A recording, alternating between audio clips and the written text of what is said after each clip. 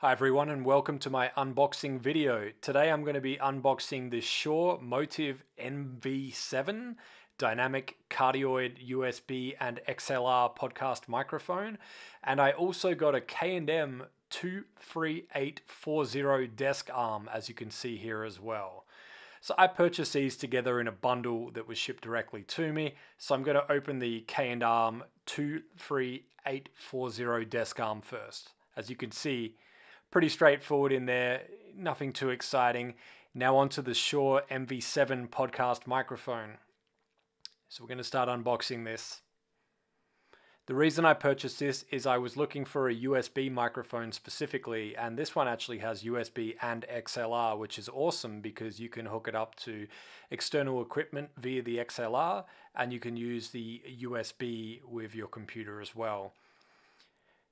The reason I got this is I really like the look of the Shure SM7B that came out a while ago and this is the next best thing. It's slightly cheaper and the audio quality is great. Uh, don't take my word for it. I'm actually using the microphone right now to record this voiceover. So as we can see here unboxing there's some stickers instruction manuals there's the microphone itself very nicely packaged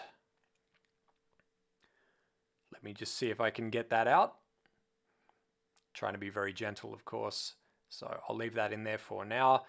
And more instructions, warranty information, all of that fun stuff. In the side here, we have two different cables.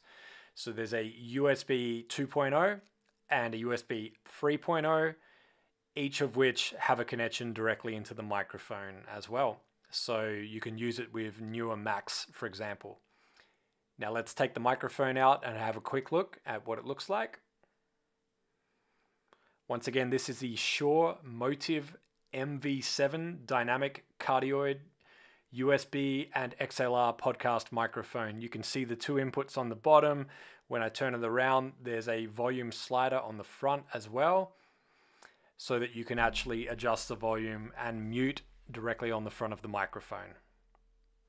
And that's it. Expect to see lots of this microphone in my upcoming videos. And if you'd like to pick up your own, check out the link in the comments as well.